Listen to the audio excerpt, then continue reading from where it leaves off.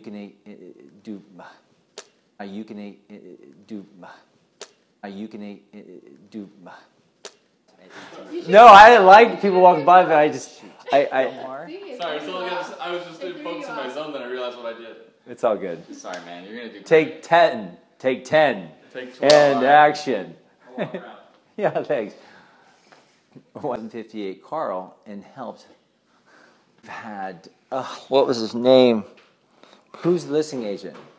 Nancy Moore. Nancy. I was like, who am I thanking them for closing something? Not clearly. Okay. Right. You were able to help Sylvia. That's like, what are you talking about?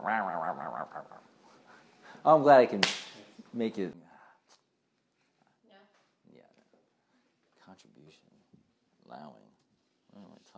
Jason and Laura.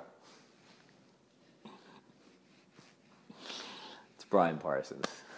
it's not even Jason Laura, right? More about Chris, his life, his business, what makes Chris tick. And finally, Tuesday. Please come.